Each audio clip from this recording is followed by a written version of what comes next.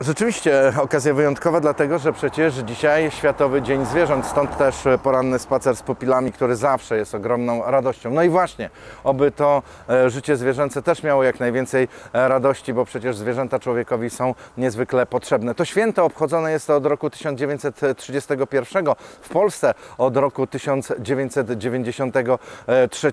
Ma mówić i przypominać o sytuacji zwierząt, nie tylko tych domowych, ale o nich teraz mówimy bardzo często, o ich sytuacji w schroniskach, ale także zwierząt gospodarskich i zwierząt e, dzikich, bo m, ta sytuacja z roku na rok niestety staje się coraz gorsza. Jak wiemy, poszczególne gatunki zwierząt giną. I to dzięki komu? Niestety, oczywiście e, przez człowieka. Zatem to nieludzkie traktowanie odbywa się nie tylko w stosunku do innych ludzi, ale także właśnie i do zwierząt. A jesteśmy nie bez kozery przy jednej z dziesięciu opolskich lam, bo lama to też przecież mm, symbol bardzo ważny dla Opola, bo mamy jej w ogrodzie zoologicznym na żywo, ale jest także symbolem festiwalu filmowego, który rozpocznie się już w najbliższy piątek i będzie to jego mm, 20 edycja, a tam też bardzo często temat zwierząt jest mm, poruszany. Pamiętajmy zatem o tym, by mm, dzisiaj nie tylko tego swojego pupila uhonorować w sposób specjalny, ale także by pamiętać o zwierzętach, które nam na świecie są po prostu mm, potrzebne i mm, pożyteczne. A jak macie ochotę, by zrobić sobie zdjęcie ze swoim e, pupilem, tak jak my za chwilę na naszej stopklatce, to proszę uprzejmie,